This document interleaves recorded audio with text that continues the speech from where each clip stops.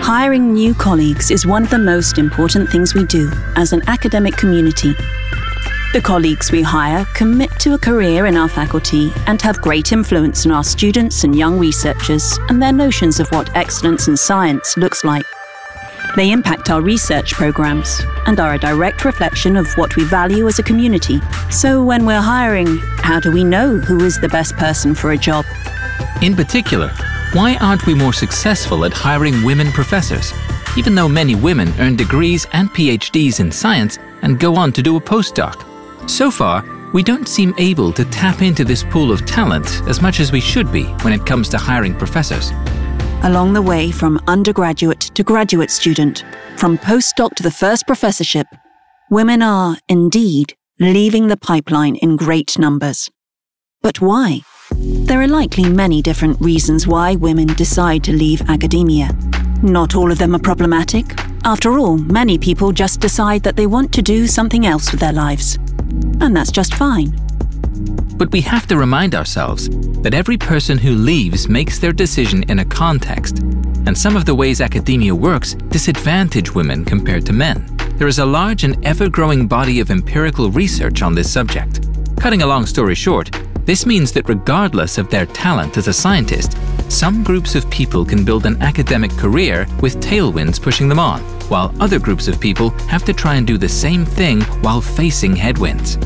And it's important to recognize that it's our job as a hiring committee to see the scientific potential of individuals and not their social identities. Now, don't get us wrong here. Deliberate discrimination is rare. The much bigger problem these days are assumptions we routinely make about men and women. For instance, we might say that we're looking for a world leader in their field. But do we really evaluate men's and women's potential and achievements equally? If we don't, we'll miss out on the women scientists who fit our criteria. And here's the thing data tells us over and over that we don't evaluate men and women equally. Oh, and by the way, the research shows one more interesting thing. All of us have the same tendencies here. There is no difference between women and men.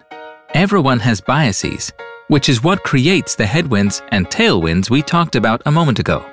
So, what do we do? Do we lean back and accept that we all have our flaws? No! Do we hyper concentrate in the hour long meetings so that we don't fall into simplified and automatic ways of thinking? No, that's mission impossible. Instead, we design tools that help us get a handle on the aspects of academic work which we know create advantages and disadvantages for people that aren't related to their achievements and potential. More on that soon. But first, let's look at our hiring data. So, keeping all this in mind, how is the UZH Faculty of Science doing with respect to gender equality? In the decade ending 2020, the percentage of women professors has grown to its highest percentage yet, 22%. While this is a positive change, it is still far from the parity we aim for. Now, focusing in a bit more, we look at our competitive professorial hiring process. Here we can see that the hiring of men has historically outpaced the hiring of women until 2018, 2019, and 2020. What happened in these years? Of course, we cannot say for certain, but what we do know is that in 2015, new recruitment procedures were put in place. These measures are still a part of recruitment today. As a member of a hiring committee, you need to know what the measures are, and perhaps more importantly, the intent behind them, and what we know about their effects. To increase the number of women entering the hiring process, the committee must hand in a gender balanced list, 50 50, of academics that the committee considers to be suitable candidates for the position. The hiring committee contacts all listed individuals, who then might apply or not. With this procedure in place, we saw the number of women applying for positions change in the last decade. In the applications, we improve fairness by looking at candidates' achievement relative to opportunity this means we look at a candidate's academic age. How many years of full time equivalents of academic employment have passed since they completed their PhD? We also think critically about the criteria we use to judge candidates' scientific excellence by signing the San Francisco Declaration on Research Assessment.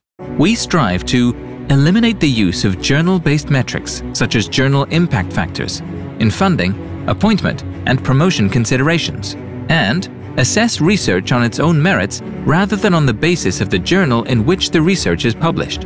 And to improve the chance of fair, unbiased evaluation once a woman makes it to the interview stage, the measures challenge us to avoid so called solo status, in which only one candidate does not belong to the majority, stereotypically advantaged group. This is equally important for people of color, who are also an underrepresented minority in science and must also push against biases and headwinds. It is likely that the solo status effects also apply to people of color in science, but we do not yet have the data to confirm this. Why is all this important? we at least know that gender stereotypes about women in science are likely to negatively influence the evaluation of women when they represent a small proportion, less than 25%, of the pool of candidates. Solo status means we focus on the candidate as a woman instead of as a scientist. Therefore, we have worked hard to increase the number of women invited for interviews in the last five years. We also always have a strong representation of women on the hiring committee. This is despite the fact that women might have the same or worse biases than men. Rather, we do this to reassure that women have place and power at the MNF. After all, the interview stage is as much about winning the candidate to come to us as it is about selecting them. There are many other hiring measures in place. They are described in the flyer, Recruiting for Excellence, and will be one of the first things you discuss as a hiring committee. Each of these measures likely made some contribution to the increased hiring of women we have seen in the last years. So, what will you do to help ensure a fair and unbiased hiring process? How will your criteria for judging scientific excellence change, given the empirical evidence of biased treatment of women in science? And how will you acknowledge and combat your own biases as we go forward in our recruitment and hiring of excellent colleagues?